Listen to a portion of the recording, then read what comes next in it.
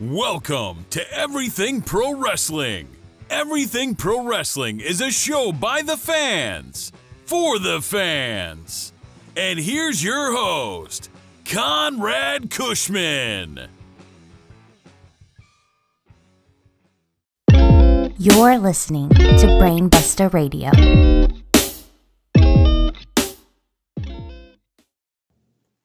Welcome to episode 51 of the Everything Pro Wrestling Podcast.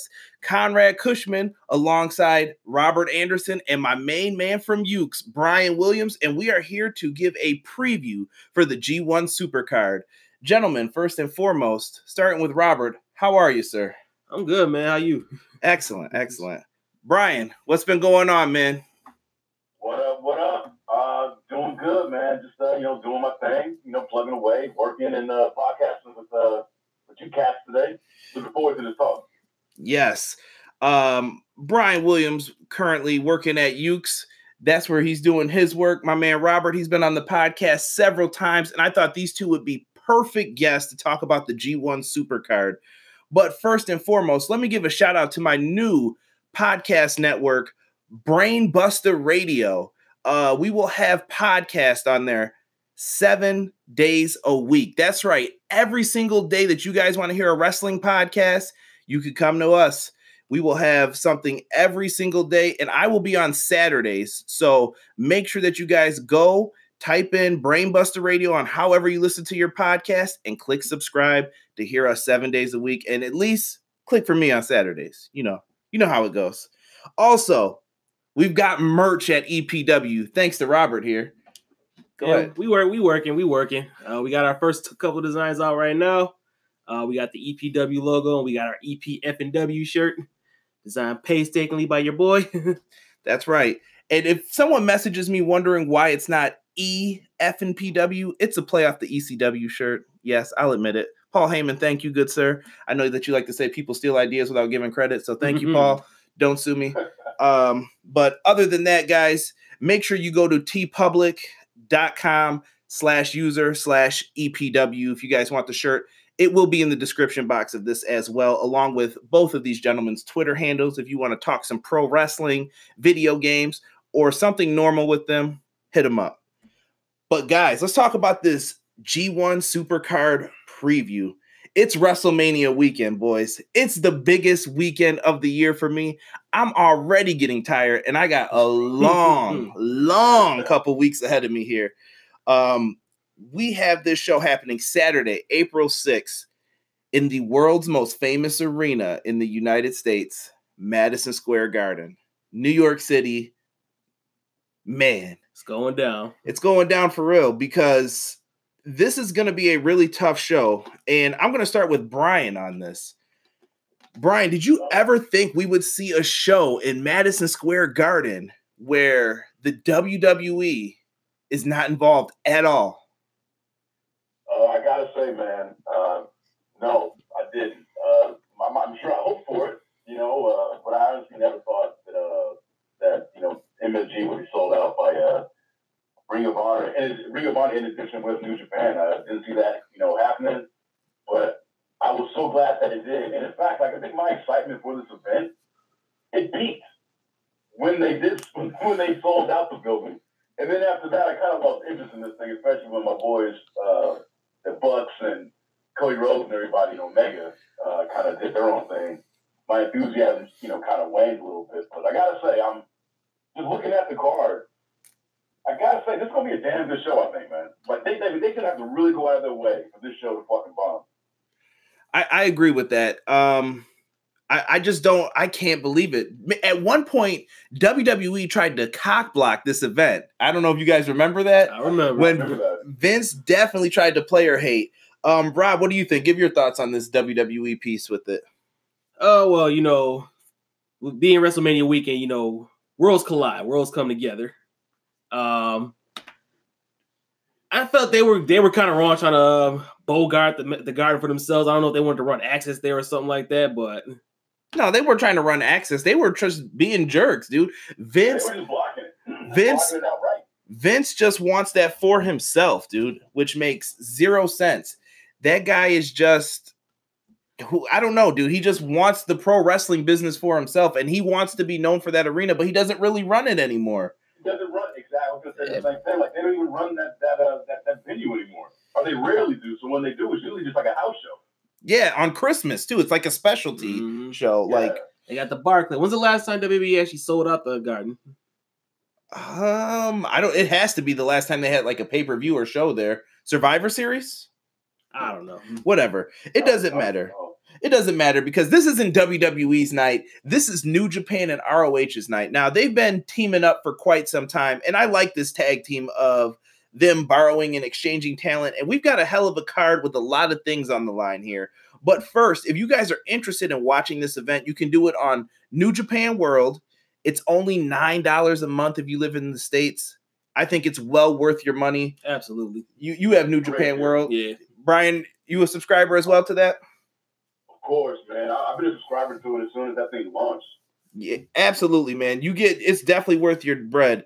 Also, you could watch it on ROH um, or Ring of Honor Club, Honor Club, and Fight TV has it as well. So no excuses for why you can't watch this event and pay for it, people. Pay for the event so that they can finally see, like, oh, this is what people want. Yeah, we need more of this. Sorry, sorry, I hate that Of course, these sometimes. But let's talk about this event, man.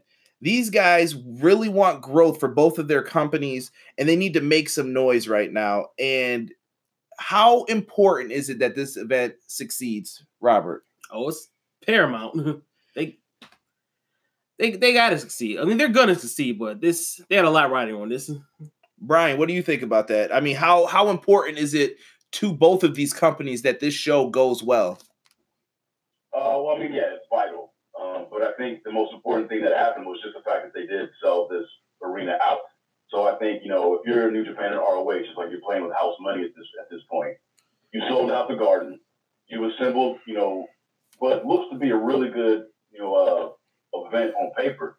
So I think the hard work is done. Now these guys got to go out there. Hopefully, just don't let the booking get in the way of uh, of the matches. You know, it's like you got these guys. You know, don't get too cute with the booking and a whole bunch of uh, you know uh, bullshit finishes.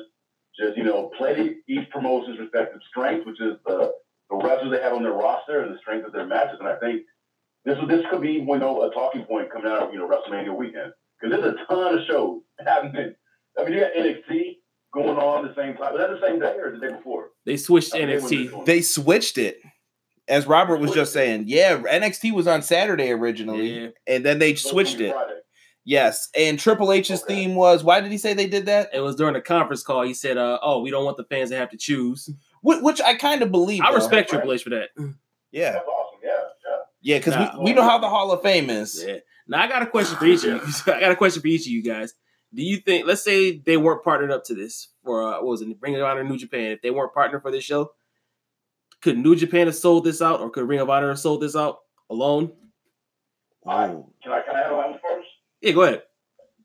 I I think that New Japan could have sold this venue out on their own. I don't. I cannot say the same for Ring of Honor. I'm with Brian. Uh, See, I kind of feel the opposite of that Oh, really? because I, Ring of Honor has a bigger, uh, bigger presence in the states, and New Japan they're trying to work on their Western expansion right now. They have the, I would say they have the financial ability. Well, Ring of Honor is backed by Sinclair, so they have that as well. But uh, I don't know. I think Ring of Honor would have had a better chance.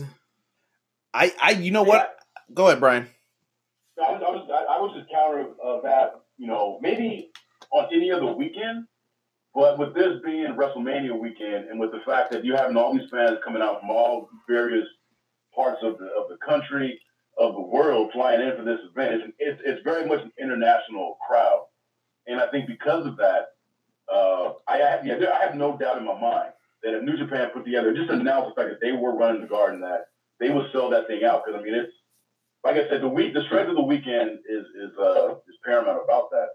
And honestly, with this whole relationship between ROH and New Japan, I've always felt that it's almost like ROH, like they need that partnership more than New Japan does. Uh, Lately, yeah, I I- agree with that. You know, I, I don't get, I, I get the sense that you know, if if New, if they ever were to separate, I think ROH would be in a worse position than New Japan.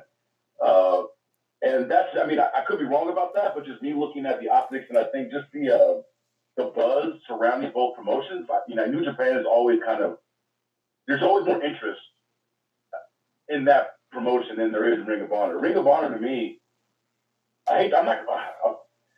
They're like a, a better run Impact.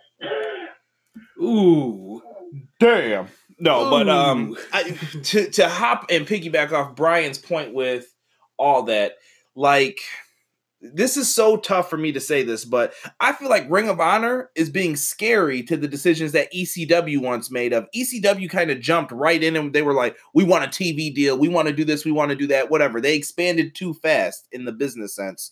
And I feel like Ring of Honor's been dipping their toe in the water for so long. It's like the kid who won't jump into the pool. It's like, dude, just jump in the pool. No, no, no. I'm gonna ease my way in. It's like, dude, just jump in the pool. It's gonna be way easier if you do that than you trying to ease one foot in at a time. And Ring of Honor just seems like they've been in a stagnant spot since like Yeah. oh five, oh seven. I would say, you know, honestly, I would you know since I would say since Joe you know, left. Sinclair purchase. You Yeah. know, uh, I because like, I feel the same way as you, uh, Conrad. Is that there's just there's just a lack of uh, energy and momentum with Ring of Honor. At least for you know, for me, as someone who used to follow the product a lot more closely, I just kind of I don't anymore. And I think a lot of it is has to do with the fact that yeah, they're with Sinclair, and Sinclair has a lot of money behind them, but they don't seem willing to invest that money into Ring of Honor. They just they felt stagnant. Uh, for the, yeah, for the past, at least for the past four or five years. Yeah. It's not a They're That's what I was gonna say. It feels like it's not a priority for Sinclair. It's like a pet project. Like, oh yeah, we got Ring of Honor. Hmm. Yeah, yeah. Look at this cool thing over here. Yeah, I mean they've signed some talent, and we're going to talk about them throughout this. So let, let's get right into previewing some of the matches. And the first They match, got great talent. They got great talent. They do. promotions. They do. And we're going to see some of them here. We have the pre show match first the Honor Rumble. Uh, the only name confirmed right now is Jushin Thunder Liger. Man, that dude's retiring, bro. Do you know how bad I just want to do a show solo, like dedicated to him, which probably will happen in a year because Oh. Jushin Thunder Liger is one of my favorites ever since I saw him in 1991, I believe, against Flying Brian Pillman. I've been hooked. Like, that was my guy ever since. I'm like, yo, that dude's sweet. His mask is sweet. I want to create him in every video game I play. Shout out to you, Brian. And it's just awesome to have all that stuff in there. Like, just love Jushin Thunder Liger. But um, what do you what do you guys want to see from this? I know we don't have a lot of information here, but what do you want to see from the Honor Rumble, Rob? I feel like this won't go more than ten minutes. It's just gonna be like a showcase of who who we brought over to the show. Um, I'd like to see um cheeseburger take it. Cheeseburger, Cheeseburger. cheeseburger. Yo, it's I- something different, man. People love cheeseburgers. Yo, when he comes here in Buffalo, I'm not gonna lie, we go crazy for cheeseburger. Like it's nuts how over he is. Um, Brian, what do you want to see from this? Uh, yeah, I'll probably. I mean, I'm not a big fan of these battle royal type things. I mean, they're cool, you know, get everybody on the show and all that. Uh, I guess you know, since you, you mentioned that, I didn't even know that uh, Liger was going to be in this. But since you're saying that he's the only one announced, you know, uh, hey, give it to Liger. You know, give him a give him this, this win on his road to his farewell match in next year's uh, Wrestle Kingdom. I, I would like to see that, and I thought that at first, but it I, come down to Cheeseburger and uh, and Liger. Yeah, that, that that'd be a pretty cool uh, final two. I'm gonna go with Ishii to win this bad boy because he better be on this card. I Oh, know I haven't seen his name pop up anywhere specifically yet, but that's my boy. And I Stone wa- Pitbull. Yeah, and I want to see some people get knocked out. So put my man Ishii on the card. Uh, Silas Young also was someone who I thought could pop up in this because he was just complaining about not being on the show. And that was hard. He called ROH like his wife. And I was like, oh, dang, you do all this work Oh, yeah, for I her. And I was like, I saw that tweet. Yeah. I was like scrolling past this. That's real, man. Yeah. yeah, Tom Selleck mustache. You know how it goes. um, but yeah, the the honor rumble should be fun. Um, it's always a good time. I don't know, can't complain about it. Next match.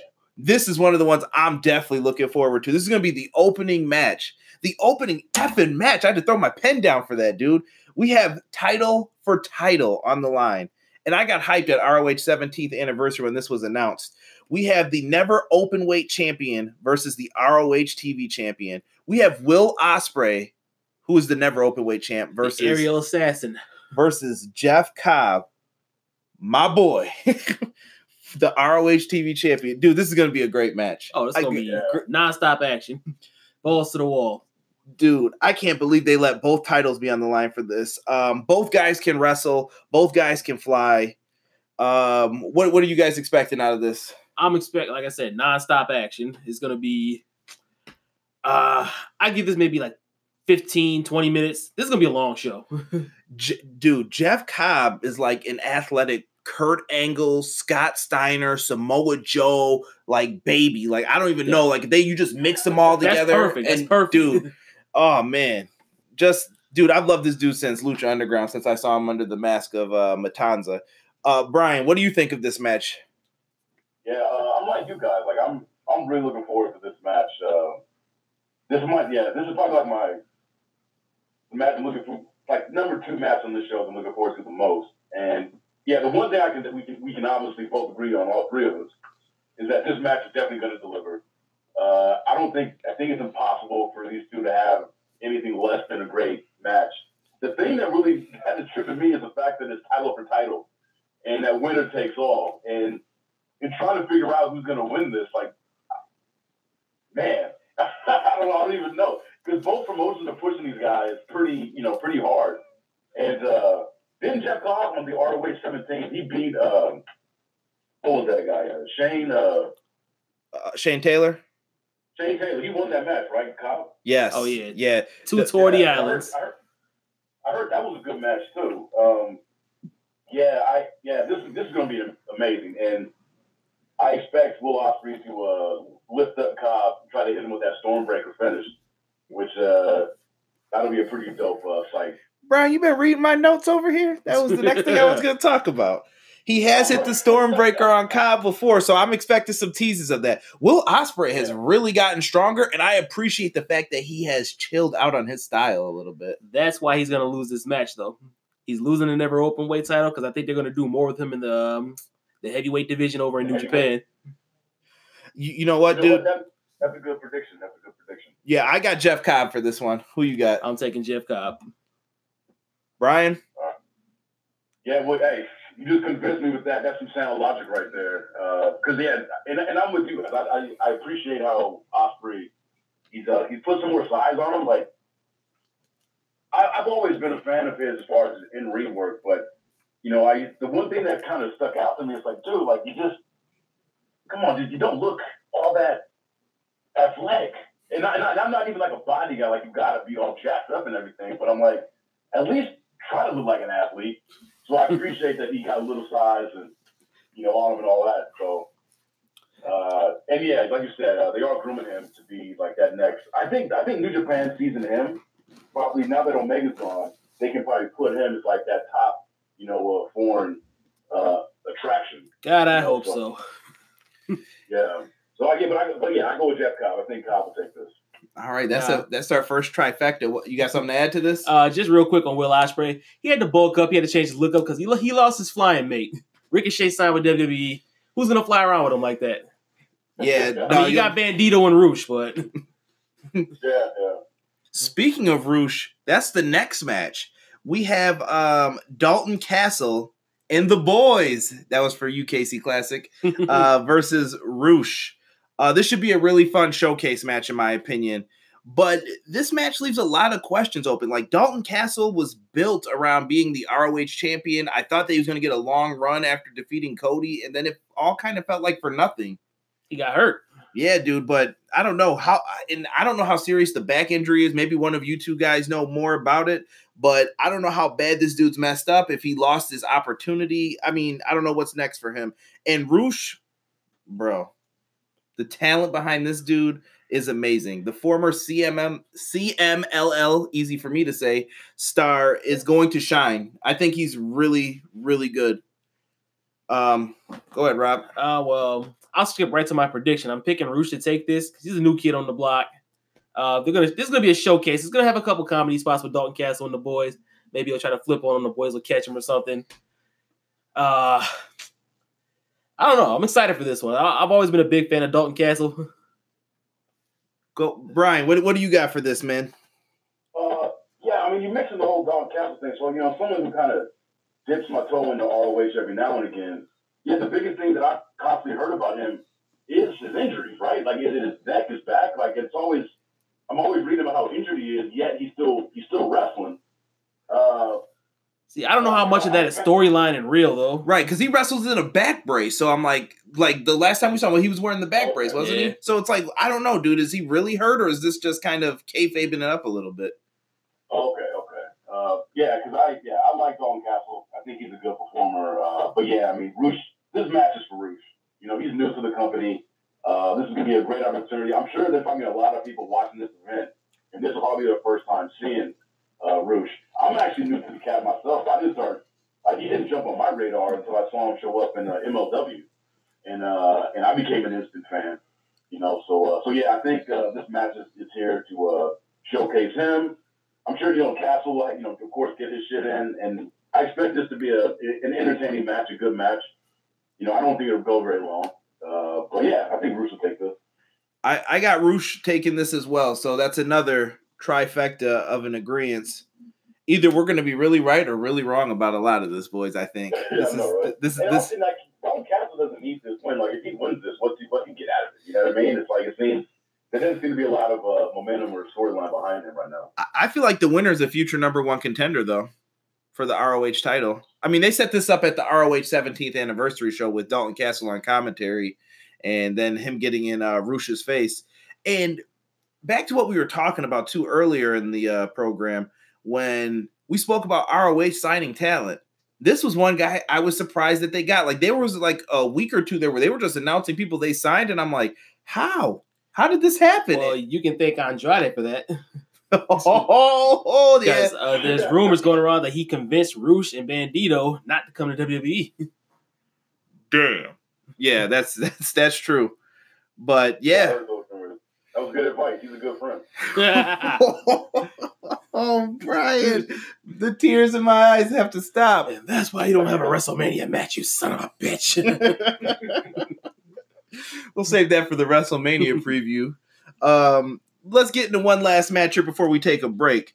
The Women of Honor Championship. Robert, why don't you introduce this one, man? All right, so we got Mayu Iwatani, who's the champion, versus Kelly Klein. Uh, Iwatani, if you're not familiar, is from the Stardom promotion. Really talented. Well, everybody that comes to Stardom, nine times out of ten, they're gonna be one of the probably one of the best in the world. I don't know what they do to them girls over there, but they they crank, they crank them out like at one after one after one is just And then, talented. and, and then they go somewhere else to be bigger stars. I like it though. I mean, I like her a lot. She's really good. She impressed me on that last um what was it ring of honor 17th anniversary? Uh, yeah. yeah that was a really that was one of the best women women of honor matches but like have those matches under delivered to you guys? Like is the is the how do I, what do I want to call it? The division women of honor? Like is it really up there for you or is it kind of just like oh you're just doing this because women's wrestling is hot right now for a while they were just focusing on like three or four girls, and Madison Rayne was one of those girls. Who cares about Madison Rayne? Oh, oh, you saw what happened to her live when she got in the ring with us. Uh, get her out. Get her out. With all due respect to Madison Rayne, I mean, Eh, yeah, okay, we'll, we'll move on. I'm being that. polite. I'm being polite. Uh, Brian, what, what do you think of the Women of Honor promotion and stardom? Uh, yeah, so I mean, it's like the, the women of honor. Yeah, I mean, yeah, you, I just I don't hear much about this division in Ring of Honor. It, it, it feels like an afterthought, which is funny because like you know, Ring of Honor, the whole thing is built around the work rate of their performers and all that. And you know, when they, they when they announced they were going to have you know the women's uh, title and their own division, like I got excited. I'm like, okay, because especially seeing how how well NXT's female division was doing and and even TNA or Impact back in the day had a really strong women's division. So I kind of assumed like Ring of Honor would take this and just, you know, hit this out of the park, but they really haven't. Now I'm not sure. Yeah, I don't know why. I don't, I'm not sure if it's they're just having a hard time getting. I don't see a draw. Like, I don't see anybody Yeah. that you could build this around. I mean, em- See, I feel like if, if they would have kept Veda Scott going, because she was like the heart and soul of that, because she was like the lady of Ring of Honor for years, and then she started wrestling. They lost Deonna Purrazzo. Uh, Brandi Rhodes was doing her thing until she broke her shoulder.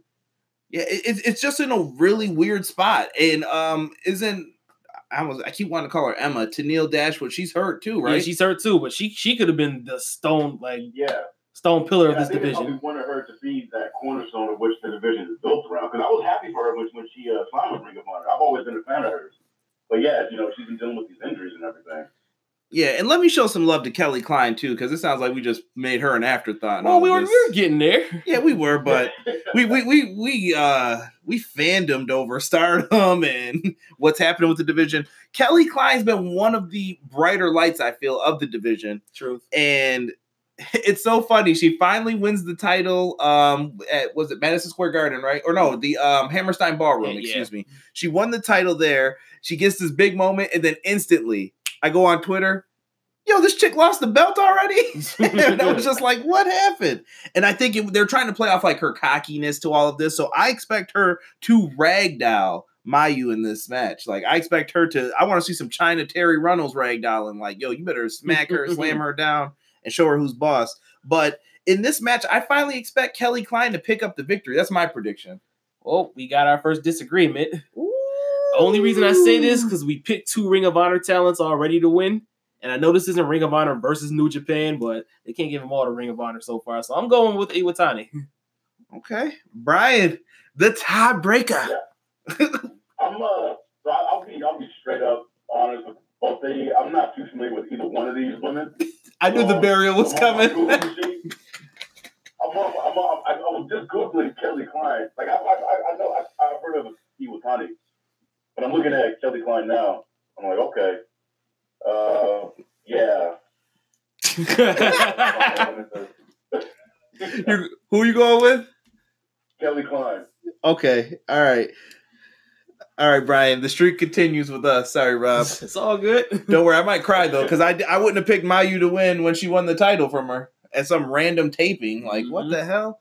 But folks, we're gonna take our first break into this. We've given you a lot of information to digest. Make sure you keep it locked. We'll have a little sponsor segment in here, and then we'll be right back to finish talking the G1 Supercard preview. This is Brian Mazik, the hardest working man in sports and gaming, and you are listening to my man Conrad Kushman and Everything Pro Wrestling. All right, guys, and we're back with part two of the G1 Supercard preview. We are on match number five. And first and foremost, before we get to this match, let me give a shout out to my man Brian Mazik, who led us in to part two of this. Uh, shout out to him. He will be on my WrestleMania and NXT Takeover preview with Brian Williams. Uh, this is going to be fan freaking tastic. I tell you, first time I had two Brians in the room at the same time and I think it's going to be a tremendous, tremendous preview. That's gonna get a little confusing though. What? Ryan, why don't you take this one? Which one? Oh, don't worry, someone's uh, gonna have to be B squared. So B squared. it's, I could be beat up. I'll, I'll be beat up. B dub. so, Shout out to San Andreas. yo, by the way, greatest game of all time. I saw Brian like that. Is, Is it the best PS2 game? I'm going Warriors. Ooh, I think I- Grant, San Andreas was so good.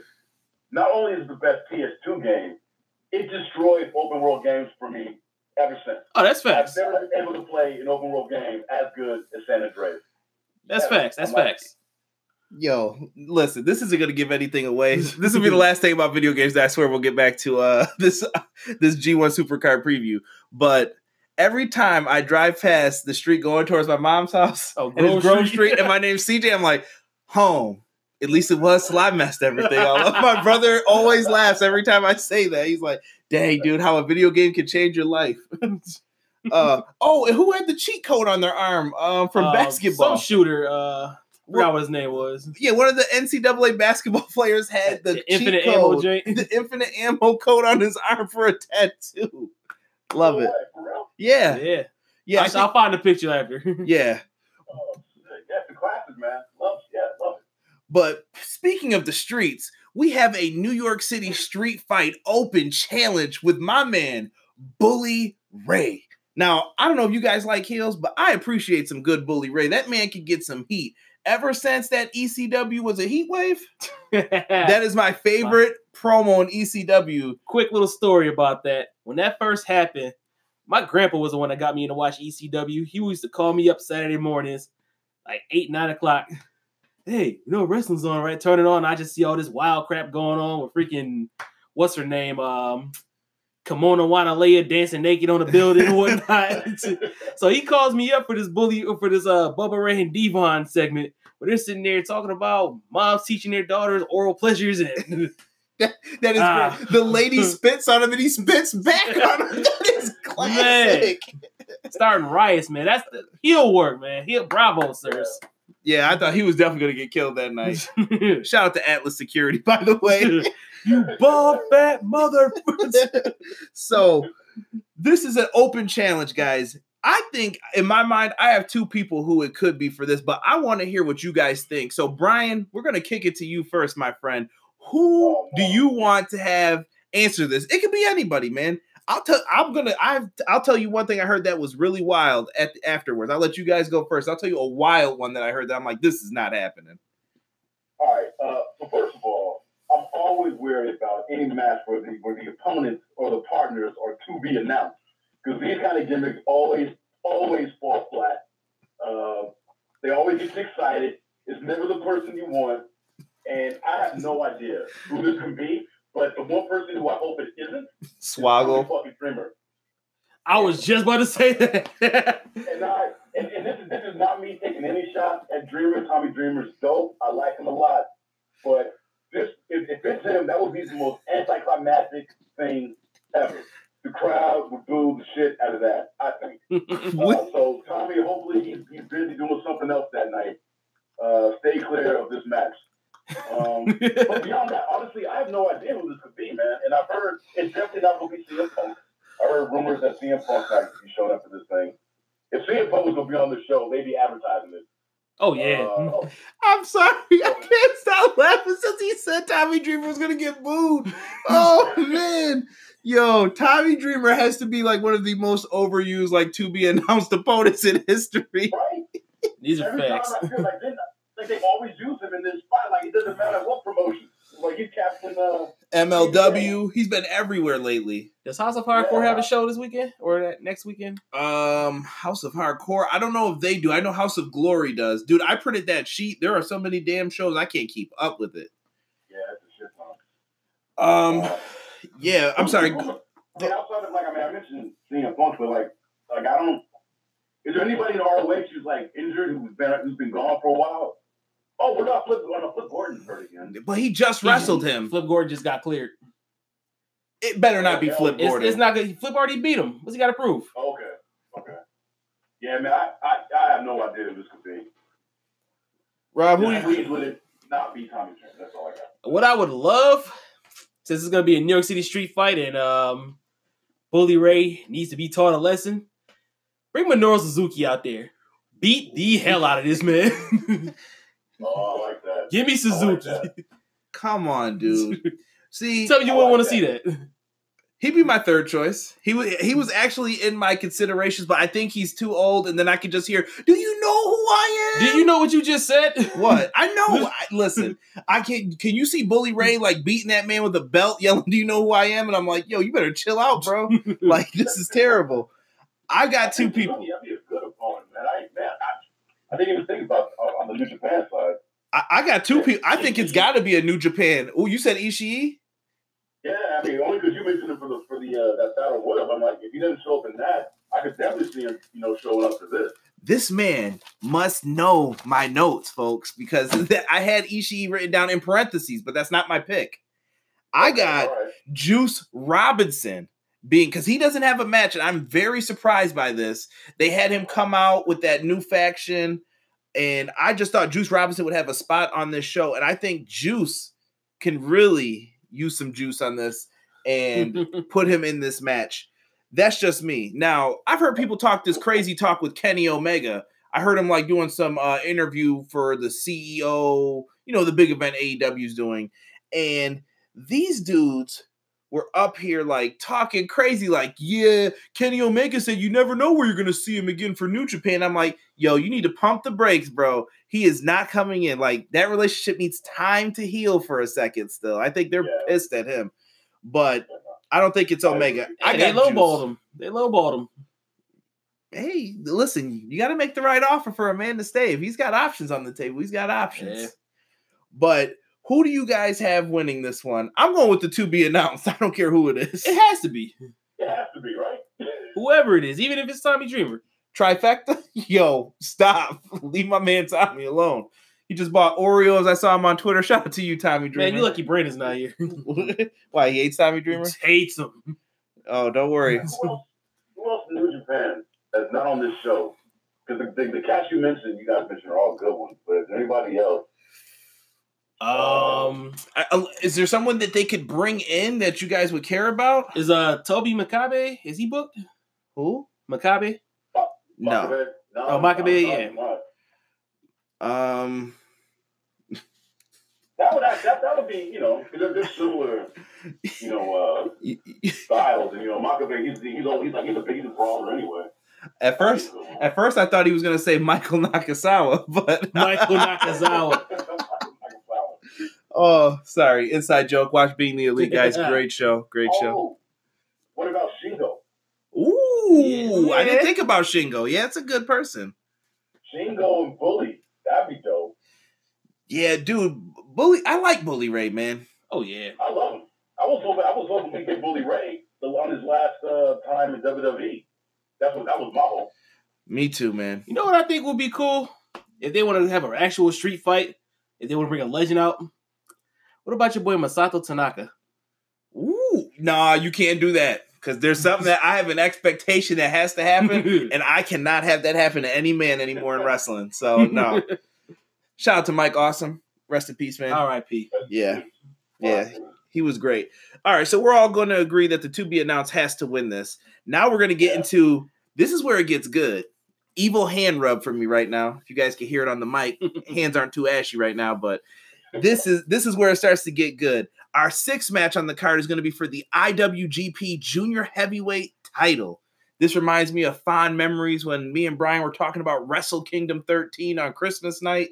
And man, we got a card here for this one. So we're gonna have Ishimori, who's the champion still, versus Dragon Lee versus Bandido. This has promise written all over it for me at least. Ishimori has finally gonna get the opportunity, I should say, to actually wrestle guys who aren't veterans, older, who aren't moving around as well, and I can finally showcase what this man can do to someone else. Because if I told you to watch his match with Liger, Liger's not the old Liger anymore. I get it. It's just one of those sentimental things, and I like it. Um, but he gets his chance to show off in this one. And Dragon Lee, I don't know too much about him. I've seen him wrestle here and there, but I don't know enough about him. And Bandido, my first time seeing him was all in. I was wowed. I've seen him wrestle two or three other times since then, in between MLW and Ring of Honor. Dope. I'm I'm I'm sold on it. Rob, what do you got for this match, man? What are you thinking? Okay, so you got to run with me on this one. I know Ishimori just got this belt. I got Dragon Lee taking this. And the reason why I say this, the reason why I say this, Hiromu Takahashi should be coming back soon. Dragon Lee's the one that broke his neck. Built in story right there. Shout out to my man Takahashi. I miss him actually. Um yeah, that's a that's a I did I not think Daryl. about that. he was miss Daryl. They got to bring back Daryl with a neck brace. Hash, hashtag Daryl merch for EPW. Daryl, buy the shirt, man. But um, that's I did not think of that, dude. I am dumbfounded right now. That's a really good idea. Damn, that's a good idea. Brian, on you, good sir. I, I'm hoping you can educate me a little bit here because Brian owned me in that uh that predictions for Wrestle Kingdom. So go ahead, Brian. Do do your damage here. What do you got? Uh, well, no, I mean, my, my pick's a born one. Uh, hey, Rob, that was a good, you know, good point. The whole, uh, if Takahashi does come back, that is kind of you got with Dragon. I think, I think the title stays uh, on Ishimori, uh, and I expect this match to be about 12 minutes of nonstop action, bell to bell. This is going to be insane. And I get what you're saying about, you know, finally seeing Ishimori working with guys, you know, uh, like his his peers. Like no one's gonna have to slow down for anything. This is gonna be three three of the best high flyers ping, you know, pinballing or ping balling all over each other. Uh, this is going to be just an athletic tour de force, I think. I And, uh, and I think he should. I think he should want to retain because uh, I mean, Dragon Lee. He's not, at least to my knowledge, like he's not on. Uh, he's not. He's not on any of these rosters, right? Doesn't he wrestle primarily in a he signed, he? CMLL? I don't know if he's signed or not. I think it's CMLL. I, I thought he was signed. No, he's he's ROH. I have that in my notes. He is. I believe he signed to Ring of Honor now. Okay. Okay. Uh, That might change but things. yeah, I, But they have a talent exchange. It makes Yeah. sense still. It still makes sense. Like if you have to send someone over, you're not gonna send your top guy. You're gonna be like, "Yo, Dragon Lee, hold it down over there for us for a little bit." I'm I'm cool with yeah, it. Dra- and Dragon Lee's incredible. I mean, I, I don't know. I'm, I'm, I've probably seen more matches than you, Conrad, but it's not like I've seen like his whole body of work. But the shit that I have seen, I mean, the dude's incredible. Um, you know, how these guys are. And then I was like you, the first time I saw uh, Bandido was uh, at All In, and uh, yeah, he, he impressed in a major way. Dude, and think about they're that. That match only had like five or ten minutes. They were rushing through that match, and I'm like, yo, this dude impressed me in that quick a time where I'm like, yo, I gotta see him again. Surrounded by all those other talents in that match, and he still stood out. Like that's a testament to him. Yeah. Uh, but yeah, I, I'm picking the board pick. I think uh, Ishimori retains. I just don't see like why you would move it off of him right now, especially with uh, you know, I don't know, maybe he's looking too in advance. But you know, you got the best of the supers uh, a few months out after this. I think just keeping the title on him for the moment, just you know, keep that title steady for that uh, division. That's my pick. I'm with Brian on that one. I think that you have to roll with Ishimori. And I think now that you said that, you could tell an incredible story too of Takahashi after having to come back and battle Dragon Lee, get the respect, earn it, and now you're what's standing in my way. I want my belt back. Right, Daryl? Yeah. Right. Right, Daryl. Nah, I got a question for you guys. Do you think this ends on a finisher or a roll up? Because I can see a roll up easy. I'm gonna go with a finisher. No, I just got to end on something. Yeah, hopefully something more impactful than a roll up. Uh, yeah, I'll go. I'll go finish. Don't worry, we won't see any dumb baby face syndrome here either. And Dragon Lee's taking the pin, I'm assuming, with you guys.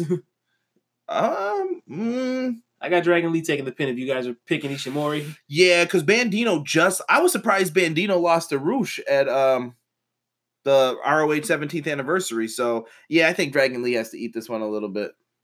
There's time though. I know Bandido's selling those masks like crazy, so Yeah, And you know yeah. what? You know, now that I'm thinking about it, I mean, I'm still I'm still sticking with my pick, but I would not be surprised to see some uh, Bullet Club shenanigans popping off in this match too. Uh, maybe a bad luck Fale or something coming out to assist their boy Ishimori. I'm just saying. I mean, it wouldn't surprise me. And if that and if, and if there is interference like that, then a roll up becomes even more likely. But I'm hoping that doesn't happen. speaking of bad luck, why is he a biker now? Uh, maybe he just started watching Sons of Anarchy too. that was an offline chat, folks. If you're wondering what we're talking about, uh, shout out to the Bullet Club. I don't want to get on their bad side because uh, we saw what happened to what culture. What's gonna happen to what culture? stop, stop. so very cool though. Um, dude, we talked about all these title matches and all that. This next one really has my attention. It goes back to what Brian said, the whole title versus title changes everything. And it's kind of like, damn, I don't know who to pick now. I'm kind of in a messed up spot.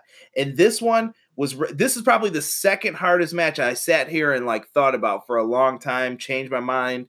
I was racking my brain. It's for the IWGP and ROH tag team titles. Both belts on the line. Hmm. It's going to now be a fatal four way tag match, bro. It started off as the Gorillas of Destiny versus the Briscoes. I was marking out. Then PCO and Brody King end up winning the tag team titles. I'm still marking out. By the way, did you know that PCO went to WrestleMania 10 as the tag team champions? Think about how much time has went past since 1994 and now he's going into the same arena as a tag team champion again. Shout out to PCO, man. I ain't messing with that dude. He's crazy. And Hey, shout out to your research, brother. That's that's a dope fact. oh, that was just up here. That was random. this is why this is everything pro wrestling. Yeah. Um, but we, ah, dude, so much stuff, dude. We got Evil and Sanada in this match as well, and I got some stuff to say about them, or at least half of them as their team, and the Briscoes, who are always just great. I love Jay and uh, Mark Briscoe, Yeah. dude. Yo, I'm- Somebody gonna bleed. I'm so glad I'm the host of this show because I'm kicking I'm kicking this to Brian first. Brian, Oh, We- no, no, I'm kicking it right back to you, brother. You know what? I'll take it. I'll take it. oh, I'll take it. go ahead, I'll tell you who I don't have winning is Evil and Sanada. And the reason why, Oh, we got beef. yo, Sanada's moving on to the heavyweight title. They're grooming that man. I I do too, but I think it's a slow groom. Go ahead, finish your point. I'm not even gonna talk. Um, since it's for both titles, I got I got uh, God winning,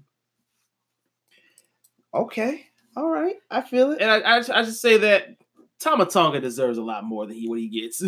Tom, yo, Tama Tonga definitely ribbed on uh, someone who I follow on Twitter real bad. He talked about her forehead in the video. She has it pinned to the top of her thing. She thought it was Hey. funny though, but I was just like, dang, savage.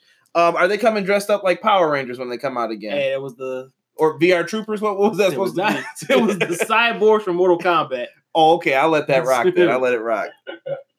Um, yeah, dude, I This man said VR troopers. yo, Gorillas of Destiny are the truth. I definitely like them. They were my secondary pick for this, but dude, I This is can't. hard. Dude, this is hard because you the Briscoes are a mainstay. You could always go with them because they're solid. You know what they're gonna do, and they're gonna whoop somebody's ass. Somebody's gonna bleed. That's all I gotta say. And, and then and, and then Villain Enterprise, they just won these the ROH titles At the 17th anniversary in the main event. Yeah, So this is a quick turnaround. But didn't G- God just won them too not too long ago? So Mhm. it's like, yeah. dude, yeah. This, this, tough. this to me was the hardest match to, to pick a winner on out of everything. I, I, I was like, I, I don't know. I mean, I'm like you. I'm a big fan of uh, God as well. Uh, I've been a big fan of Tama Tonga for a long time, so I'm glad he's finally getting uh, a little more uh, attention, getting you know his way. Uh, shit, I, I'm just gonna blindly pick at my my phone here and pick a team. Uh, I don't know, man. I don't know. I, I, I'll give you some. I'll buy you some time. I'll buy you some time. Okay, okay. So to me, this is a tough one. I had the Gorillas of Destiny. I'm racking my brain, but Robert brought up a point that I was thinking. No disrespect to Evil, but Sanada's that boy. I'm telling you right now, Sanada will be the IWGP Heavyweight Champion one day, guaranteed. I think that Sanada is one of the best right now in New Japan, and Sanada's just he's ready, and I think that this will hold him over until he's ready for that push. You give him the tag belts, and then you could kind of tell a story with him and Evil, like, well, nah, bro, I really did not need to be with you anymore. I don't I don't know if they ended on a nice note or if Sanada goes heel on him, but Well, it's still in uh, Los Ingobernables de Japón. yeah. So yeah, I guess they'll guess still be brothers in arms. I guess, but he could It, it doesn't have to be like even a. It could just be a thing where it's like, all right, Sanada, I'm gonna, I'm gonna go separate, maybe bring somebody else in from uh, from the factory. What happened? What happened? Nothing. little little uh, off camera shenanigans here. Somebody, you know, you got you got the sign up says you're recording. This is live, folks, by the way. And you know, someone doesn't read the sign and then they look in, so it happens. it happens from time to time. But yeah, dude, I'm going with Evil and Sanada, dude. You have to let Sanada do this. I'll have to think more about what happens with him and Evil later on down the line. But I say you give him the belts now, let them get that last good run in, and then whatever you're gonna do, you're gonna do for your device for the story. Brian, I bought you enough time, good sir. and it was uh, time time well spent because I finally got my pick. Uh, so looking at this, I'm, I'm I'm taking the length of everybody's title reigns out of the equation since that's like a non-factor anyway, and I'm looking at all these teams, and I'm and I'm, and I'm trying to figure to myself now who, who needs this the most, and that's Villain Enterprises. Uh, they're a new faction. They're a new team you know, putting the belts back on GLD, an established team already, as much as I love them, like, what does that really? What, what, that win's not really going to elevate them any further. The same with, with, with uh, Briscoes, who I love. You know, uh, and then Eagle, and then Los Ingobernables, you know, de Japón. Like, these are all established teams. I think if they really want to get behind, like, you know, keep this villain enterprise and make this a thing, I kind of feel like you gotta you gotta put it on PCO and uh, Brody King. And uh, and this will allow them. Have they, been, have they been to Japan yet for any kind of tours of New Japan? I think Brody King's been over there. I'm quite sure PCO's wrestled over there in his career, but not lately. I mean, recently though, like since they signed with uh, Ring of Honor. Not that I can think of. I, I haven't Yeah, seen them over there. Maybe a Jean Pierre Yeah. Lafitte. Yeah, I don't, I don't think they've been as, as as stable. So I think you know, have letting them win, giving them both of these two companies uh, tag titles, and then having them you know do tours of the beach.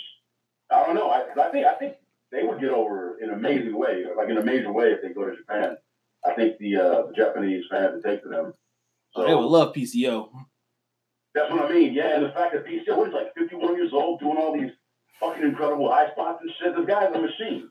Damn, that's a good point. See, you can't listen to anybody on this because they're gonna convince you into it. Like Brian's getting me like, if he was like, "You want to change your mind?" I'd be like, mm, "Yeah, he's got he's bringing up some good points because they would like PCO. It's kind of like his last run. The man's one bad moonsault away from like, yo, I'm done with this." ah, Uh, yeah, honestly, I was gonna say some similar.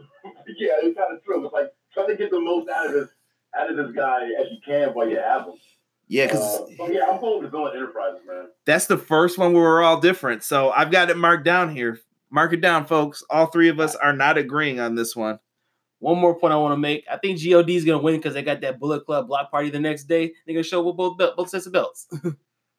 You think they're gonna put over some YouTube stuff? They ain't going Yeah. for that. Yeah. they're not going for that. yeah, Jado and Gedo getting desperate these days, man. They're trying to keep everybody happy. That's right.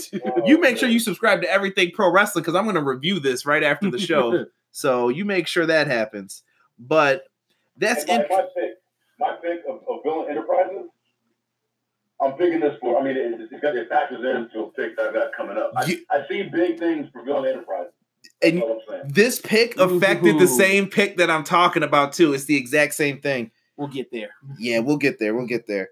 But before we do, guys, let's talk about what's going on in the basketball world real quick. You've got March Madness, you got the Sweet 16, and when you need something to listen to for audio, you got to go to Everything College Basketball.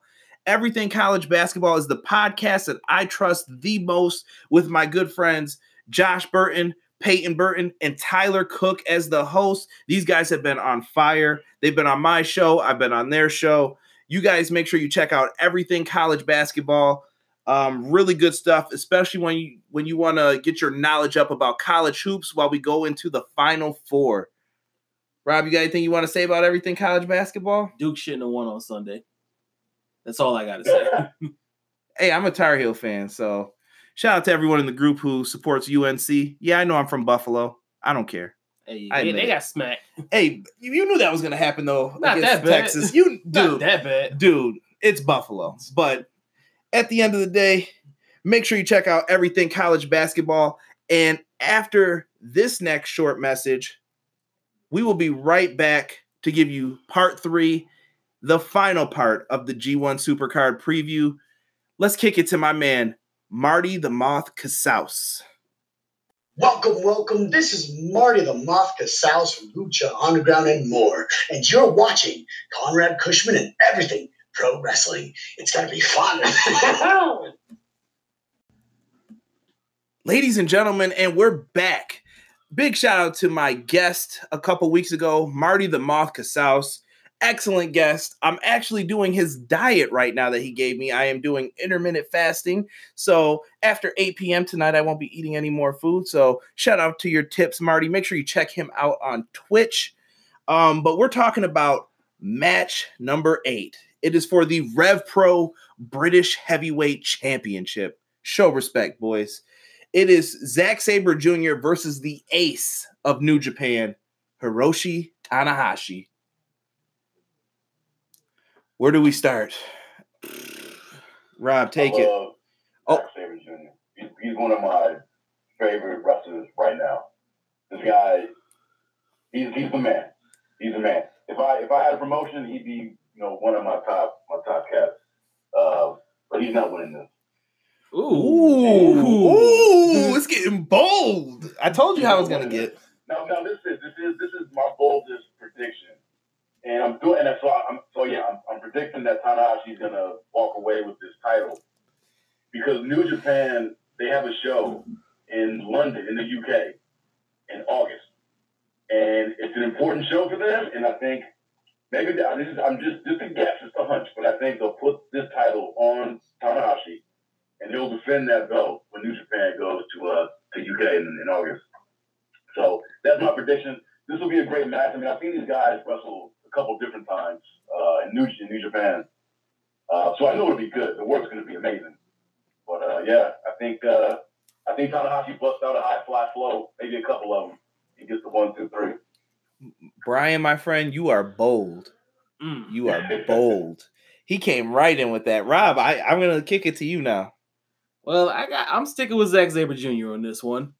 Uh, he didn't get this belt not too long ago, right? Uh, He got it. Wrestle Kingdom. Yeah, Was it Wrestle Kingdom? yeah. He beat. Yeah, Uh, a couple Ishii. months. Ishii.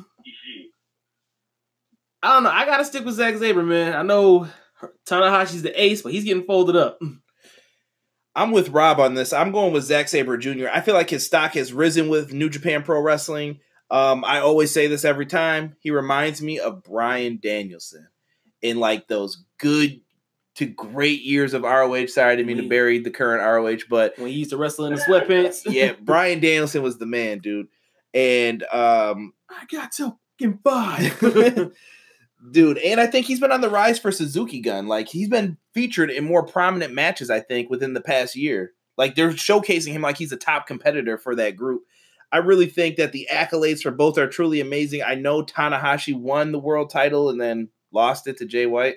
Uh, hey, chill out, Rob. chill out, Rob. Don't get mad. Chill out. Um, but I still see Tanahashi as the ace, and they'll have to figure out something else for him to do. I'm going with Zack Sabre Jr. I know it's not the uh, popular pick as well, but Brian came in bold. Brian came in bold. I, Like, it's a bold pick, but look, if, I hope that I'm wrong. You know what I mean? Like I, I hope Jack Sabre, uh, you know, keeps his title because, like I said, he's he's one of my favorites. But I don't know. I just, I don't know. I, I think if it, yeah, I don't know. I, I stated my case. I think yeah, they want. They'll probably have Tanahashi holding this title when they have that show. and, and you know what? I can see New Japan okaying that too because Tanahashi really doesn't have a lot to do at this moment. Like, who's he going to feud with? Who who's the second top guy? I mean, maybe you could mix it up with some of the guys in the next match, but other than that, eh, maybe they could. I mean, you brought up some good points, so I respect that. Uh, let's talk about the IWGP Intercontinental Let me- Championship let me, start match. this one. Let me start. Oh, hold one. on. Go ahead. You introduce the competitors. He, All right. So we got the reigning defending champion Tetsuya Naito versus Kota Ibushi, the Golden Lover. Uh I feel like I feel like this match shouldn't even be happening. I feel like this IC title. Okay, hear me out. I feel like this IC title is a consolation prize for both of these guys because Naito should have won that uh heavyweight championship. What was that Wrestle Kingdom 12? Yeah. He should have won that belt there. Kota Ibushi should be challenging for the belt now. I don't know what what what Gedo's got going on over there. but- well, I feel bad for Kota because I think that Kenny Omega stuff was leading to a big storyline, and then it kind of just went, I, those two were going to headline the Garden. I think yeah. they were going to headline this show, and that might have been Kenny's last match with this promotion. But I, I don't know, man. Yeah. I got. I'm going to take Naito in this one. Really? I'm going to take Naito. It's Mm. because, like I said, Mm. they both deserve better. And this, like this belt, no, no disrespect to this title, but it feels like a consolation prize for both of these guys. you miss when MVP had it, don't you? I do actually. I miss when him and Shelton were the tag champs too. Ah, I when think she, their intercontinental uh, titles got more prestige than WWE's. I, I mean, I see what you're saying. Oh, absolutely. want these, these guys you know be in better spots. I agree with you. I think you know, especially about Naito not winning that Wrestle Kingdom that year. Uh, It was should have. time. It was time. Yeah, the crowd died after that too. They were just like, "Oh, hmm what?" oh, you know, you never see Okada get a reaction like that. yo, yo, don't disrespect Okada. I'm man. not. I'm just All right, saying. All right, don't. uh, Were you guys watching the New Japan Cup at all? That ran uh, a couple weeks back. I was in and out of it, but Same. Right, because these two wrestled. Uh, I think it was like the was it the first round or second round? First round. I have it in my notes already. Okay, Mhm. yeah, and that match was freaking just incredible. So, I mean, yeah, this match is going to be dope. I mean, even if they just redid what they did, you know, a few weeks back, this will this could end up being the best, you know, overall match of the, of the entire show. But yeah, picking, deciding on who's going to, you know, win this, this is this is hard, man. Because I mean, I could there's a case that could be made for either guy, but Is he reading my notes?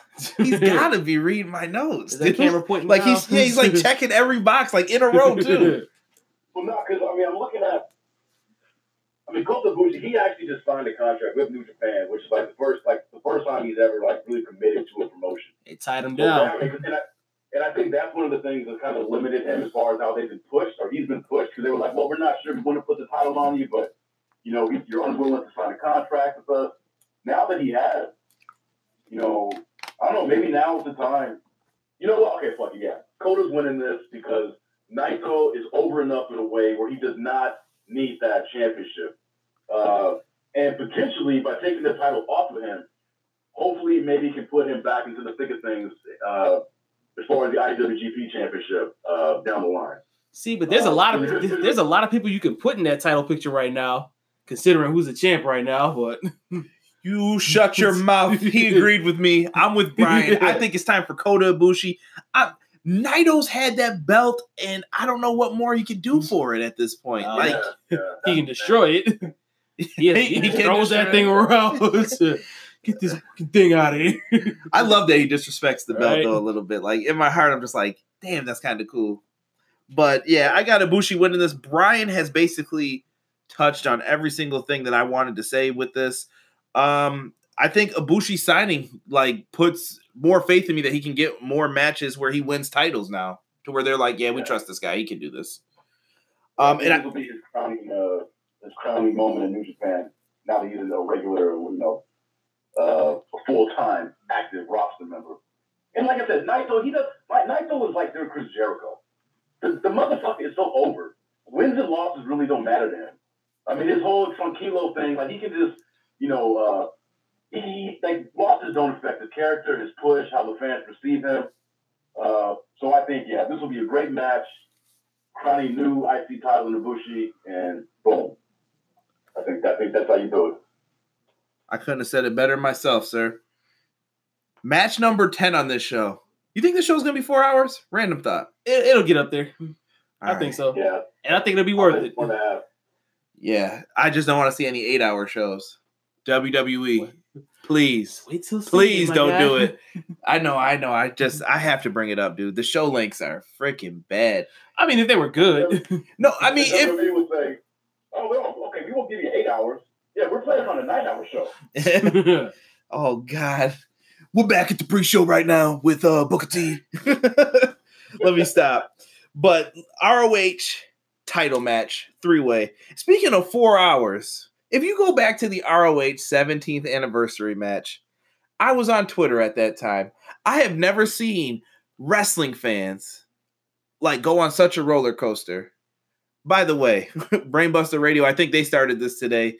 It said uh, places not to look for love, and it said uh, wrestling Twitter. Definitely one of the best answers. People had that thing going all day today because this match. So so many people were like, "Yeah, hopefully this world title match is cool. They're starting it right now." And I was like, "Oh, cool, it's getting started right now." Fans like, "Man, this match is boring. Nothing's happening." And then all of a sudden, yo, this match is getting really good. The kickouts and everything else. I'm like, "Oh, okay, cool." They're like, "Man, it's getting boring again. I'm so tired of watching this." And then towards the end, man, kick out after kick out. Who's gonna win? Could Taven finally win the belt? And then I'm just like, dude, I've never seen fans switch up. I'm like, dude, you just said you hated it. Like, I, I can show you the tweet if you want. Like, I'll take a picture of it. fans were just going nuts for this. It was a really long match, and it got real crazy. So this is why Matt Taven's in this match. Marty, what what did Marty win to get this? I can't remember. Some contendership Uh, or a he- tournament. of the yeah. Thank you. Thank you. Yeah, Marty won that tournament, and now we have a three-way ladder match. Dude, dude, this this is getting deep, man. This is hard to pick a winner because I'll go first for once. Lethal's title reign has been cool. I love Jay Lethal. Jay Lethal's one of my favorite people. Um, after TNA kicked him to the curb, they made a big mistake. I thought Lethal was a talent who could go anywhere he wanted, sign, and it was happening for him.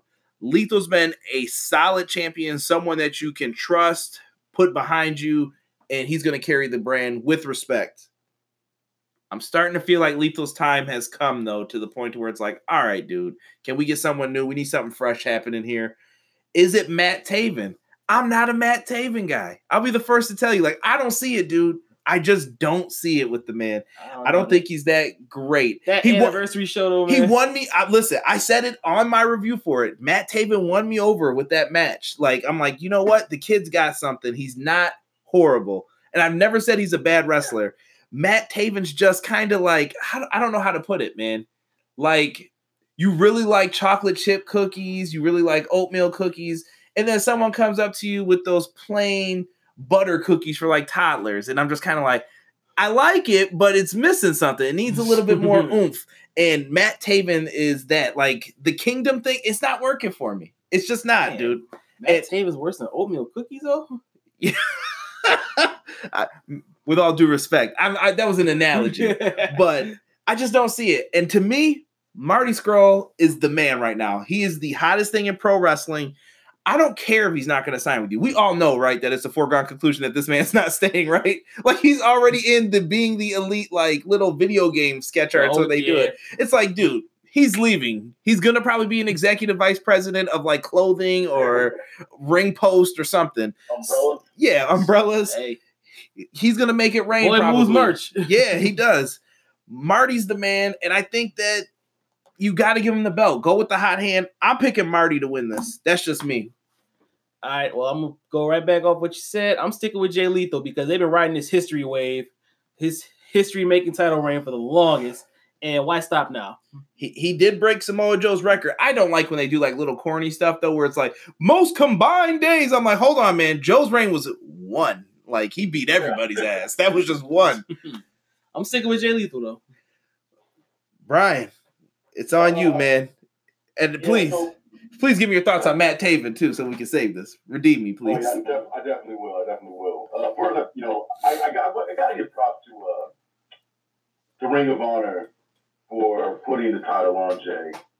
Uh, I think Jay Lethal's been a, a very good, you know, uh, champion for them, and it's nice to see a uh, person of color, you know, at the top of a wrestling promotion that's not throwing pancakes or uh, shucking and jiving. So uh, I really appreciate and respect that aspect of how they booked him and used him. And then, like you said, Jay Lethal, he's an amazing uh, performer. So props to him and his reign. Uh, I'm with you, Conrad. I think this is Marty Scurll's, uh, this is his time. And although he, yes, all indications point that he probably will join up with his with his with his homies and all elite. But at the same time, this could be ROH's way of kind of saying, look, you know, we can put the title on you. Maybe we can negotiate. Maybe we can work something out to keep you in the fold. And this might be their their attempt to do such a thing, which is why I picked Villain Enterprises to win the uh, the, the, the tag titles, ROH and the uh, you know IWGP. So you are expecting a big night for this faction. I think they walk up. I think as a faction they walk away with the tag titles, and Marty is going to be crowned the new ROH title or champion. I like it. I think even I'm gonna take a business approach And I'm to not this. a fan of uh, All right. All right, good. So we're all three kind of in agreement then. Like Matt Taven's not. Yeah, he doesn't do it for me. I mean, Yeah. I, he, yeah, he's, he's he's a fine, you know, he's a fine uh, wrestler and all that. It's like I have no. I just he's like man. Yeah. No, okay, no, no disrespect to you. He's a good hand. Ooh, he gave him, he gave him the Jim Cornette Triple H. He's the guy that works with the guy. Exactly. Yeah. I, I'm I'm, just, uh, I think I think I think Marty's cool. If it's and if it's not Marty, then yeah, it'll be. Jay. Nah. I don't see Matt Taven being the ROH uh, champion. I don't know. We talking all this shit. We Honestly, probably not ever. we talking all this shit. Matt Taven's gonna light it up. watch, Watch yeah. this. Yo, yeah, Matt Taven. Moonsault, triple moonstomp. Where did he learn this? Son of a bitch. EPW show you suck. You suck. Uh, give me a follow on Twitter. Buy them shirts. Yeah. Shilling the merch. I like it. But real quick though, I want to bring this up with Marty too. Bryan brought up a good point of ROH extending that arm. I think that this extends the arm even for AEW. think about it like this. In my mind, if I'm a businessman, I own ROH, right? I'm playing fire promoter right now. I'm into this.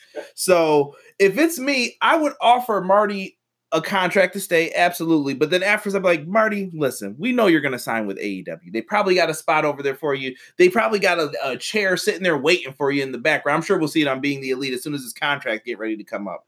Fine. I would say, listen, tell your boys we want to talk to them. Bring them in, and then you say, New Japan, we need to talk to you too. Let's all get into a room and let's figure out how to make this shit work. You can definitely do something. If all three of these guys teamed up, you already know Impact wants to get in on this. Like Don Callis is like, please, That, I'm uh, good. Eric Andre meme. Let me in. Let me in. yes. Everybody's gonna want to work with them. If they work together, I think they could be a problem Oh, for absolutely. the machine that we're not gonna But talk about anymore. New Japan want to work with AEW? I feel like they're still bitter about that. Listen, you're gonna have to get over that. That you know what? Let the tears come later. You got to you got to break bread together right now, and I think divide and conquer. They'll make it happen. more of a chance of uh of AEW doing you know future business with New Japan than with ROH. I think those, I think there was like legit bad blood between ROH and um, our management at least and All Elite Wrestling. Um, so I, I I would be shocked if I saw them try to partner up, and especially if if, and if All Elite kicks off the way that I'm hoping and that how they seem to be positioning themselves. You know, they're going to be bigger than Ring of Honor anyway probably right out the gate in terms of their reach. If they get, you know, depend on their TV. Did you say Michael So, Nakazawa? Of course, yeah, yeah, that's right. so the business, so but again, that's all dependent on you know their TV deal, their how they're gonna you know distribute their their uh, their product. But I mean, just it, it already seems like they're at a well, I can't say already, but I just I predict that they will have a uh, bigger presence than Ring of Honor. If not out the gate, but soon enough. Because they're going to So, jump in the pool. It goes back to that analogy. AEW has jumped in the pool. New Japan has jumped in the pool in the United States. Ring of Honor is still dipping their toe along the East Coast. Yeah, like, Nah, uh, how much do you think Sinclair has to do with that, though? A lot. yeah, they're the owners. willing to.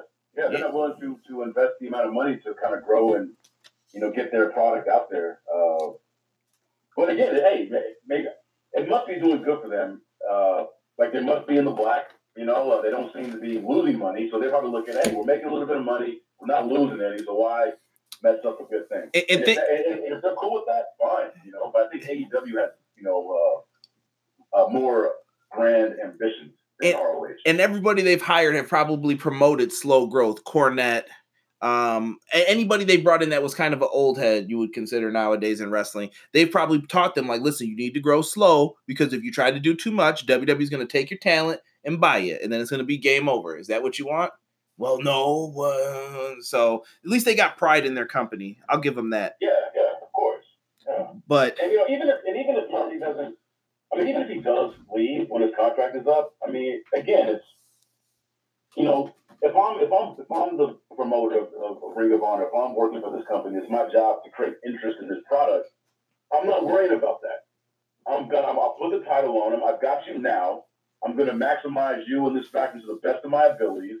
I'm not gonna I'm not gonna book knowing that you know six seven months from now you're gonna be gone. I've got you now, and now I want to make money with you. So put the title on him. Uh, it definitely I, I think it's the best business decision to be honest with you. I mean, like you said, Marty Scurll, he's one of probably their most over uh, guys on the roster.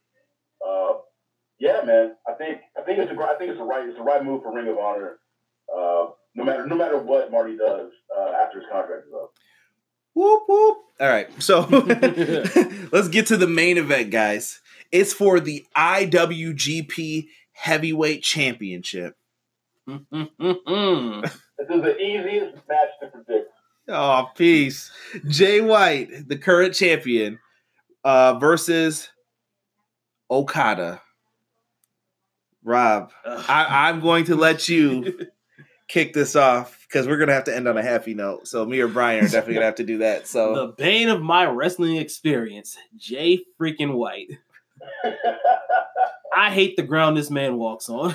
Damn. he he's the splinter in my toe. he is go ahead, you go on a rant. Go ahead, let Oh. it out. this motherfucker right here. what the, what has he done? Why do you hate him? Why do you hate him? This is intervention time. Okay, because his character is shit. this little kiwi crushing son of a mother. Ah, he's he's okay. He's like 2016 Dean Ambrose. Damn. Come on. When they dude. trying to get that man the belt, he was running around with uh, what's his name? The dude that was sending dick pics to the little girl. No chin. What the hell's his name? James Ellsworth. James Ellsworth. when Ambrose was running around with him. That this is Jay White to me. Oh man. Like he's boring in the ring, except for that Wrestle Kingdom match because he killed it. I'll give him his props on that one. That whole Elite versus the Bullet Club or the Firing Squad was a wasted story, and I blame him. And even though it's probably not his fault, it's Gedo's fault. But I, I'm just not a fan. I don't see the appeal. Who's winning? Who's winning this match? Jay White. All right. As much as it pains me to say it, That must, I can't imagine. That, that must have been very painful for you to have to. Uh, I'm sweating right now. Don't get don't get hot about it. Damn. All right. My man B will. Go ahead, Bryan. Go put some love back in this show. Well, you know, I have a, I got, I got, I, got, I, I admire and I respect the passion radiating from you, Rob. Your hatred of this man, respect that, man. I, I don't like Jay White, nor do I, uh, you know, him. Like, I, I, White is just Jay White to me. I, I haven't really formed any kind of hard opinion about him yet. Um, he's, he's, he's good in the ring. But yeah, I get you. Like, I'm not really into the whole switchblade character. I'm just- I'm like, yeah, Exactly. like you. I'm trying to figure out what exactly that is. It's kind of cheesy, in my opinion. Uh, but the guy's a hell of a talent, and he's obviously somebody that uh, Gedo and, and Jado, like they, he's their he's their he's their new guy, and uh, I don't. And this is his first title defense, also. You know, that's something that you know has to be put out there. I mean, I not that it's in, I, you know it's not in uh, their booking to have him lose this right out the gate, but I just don't see it happening. Um, I think this is going to be an amazing match. The only thing that kind of hurts this is that it's still this match is still feels real, you know, real fresh to me. Like I just saw it. You know what I mean? So it's like I'm not all that excited for this particular match, especially you know knowing or you know with my prediction of Jay White winning. I kind of uh, I was really hoping that Sanada was going to win that New Japan Cup, even though I knew that shit wasn't going to happen. Because I think that would have been more into that match against Jay than uh, than Okada and White. But that being said, this will be good. This will be good. These guys are both good at what they do. But yeah, I predict that uh, that Jay White retains this and uh, keeps the uh, keeps the title, man. now does say you, Conrad? hold on before we get to CJ. Does he retain clean or does Gedo get involved or Oh, there's gonna be some. There's gonna be some shit. shenanigans? It's it's the Bullet Club. Now, how do you Yeah. how do you go about this whole Okada redemption story that they've been trying to tell? Do you think he's bigger than the title? Has he reached that point? Because he he is Uh, he is New Japan to me. yeah, I mean, is he bigger than the title? I, he, I I, was, if, if he's not if he's not bigger than the title, he's he's uh, he's on par with it. I think. I think he's over in a way that you know, uh, and that's why yeah, like he doesn't need the title again. I mean, they're still trying to make Jay White a thing. So to take the belt off of him, which is basically undo all the amount of uh, effort that you put into his build so far. and that's the reason why I picked Jay White as well. Because stick with your guns, unfortunately. I'm going to agree with you guys. I got Jay White winning this as well. Uh, tough pick. I feel like they need strong heels though in New Japan. That's my main reason for picking it as well. There's not too many. We've mentioned Sanada, Naito, Cobb. I mean, you got Ospreay, Ibushi, but lots of baby faces that we just named. There's no heels, so I'm predicting Jay White, and he's got a ton of people that he can go up against after this. I'm with Bryan. I'm tired of this, and you can eventually still go back to the storyline of Okada needs to beat Jay White before he can get back to the promised land. I think that it's a good story. Keep playing off of it, and it could be a big deal later on down the line. Yeah, I agree. Hey, So, Spade, you mentioned uh, his next challenger. So, who do you think is White's next uh, challenger? Um, well, you guys picked Ibushi before, so I'm hoping either Naito or Sanada, but I think it's Naito. Yeah, I think Naito, I think Naito is uh like he's got to be the first or the next in line. Now, if he gets it, he better win it too. That's what I'm saying. Yeah. Because he should have won it last year. Naito's long overdue. Um, same thing with this. I hope you guys enjoyed this preview for the G1 Supercard. It's going to be a hell of an event. Um, immediately after the event, I plan on doing a YouTube review of it. So, whoever is around, if you want to join me, send me a message. We'll see what we could work on. I'll most likely be on that. My man. So, we've already got a guest. That's one. But if you're around, hit me up, throw you on the review. Uh, we'll talk about this. I think it's going to be a great show. This show needs to deliver WrestleMania weekend. People need to walk away from this at least talking about one of the matches from here or the event itself.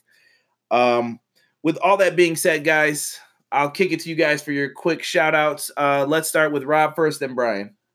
All right, so I'm giving shout out to EPW, shout out to the group, shout out to Teespring, buy them shirts. We we working right now. We got we got some stuff on the way. It's T Public, good sir. So T Public, whatever, man. all right, all right. Just you know, you know, the links will be in the description. You know where to find us. Shout out to Brandon, Shower City Knocker Ball. You're in the background. They they know. They know you're here. They know you're here, Brandon. uh they, they know. Bryan, what do you got? Uh, uh, not much, man. Shout out to the two of you. You know, Rob for designing those shirts. Them shirts look dope. Uh, Conrad, just keep doing what you're doing, man. Uh, congrats on the Brainbuster. Uh, was it Brainbuster Radio Yes, or sir. network or Brain, yeah, congrats Brainbuster. Radio. And uh, thanks for having me on, man. I love, I love, uh, I love talking wrestling.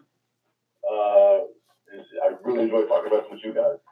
Wrestling is a gift that keeps cats on in giving. my- In my circle that I can talk wrestling with, so uh, it is a good outlet for me. Bryan, you're always welcomed on the podcast. I'm pretty sure they're going to hear from you again very, very soon, as I said. Um, but I always enjoy talking wrestling with you. And guys, thank you so much for listening to this episode of the podcast. Once again, make sure you subscribe if this is your first time listening and you like what you hear. Also, make sure you give a subscribe to Brainbuster Radio. I will be featured on there on Saturdays. Also, shout out to everybody who loves pro wrestling. This is a big week for anybody who's a content creator, a fan of pro wrestling. This WrestleMania weekend is always a good time. So make sure you're around your loved ones and appreciate the moment that you have with them. With all that being said, guys, enjoy the show. And you never know when I'm going to drop some more content. So make sure you're ready all the way up into WrestleMania weekend.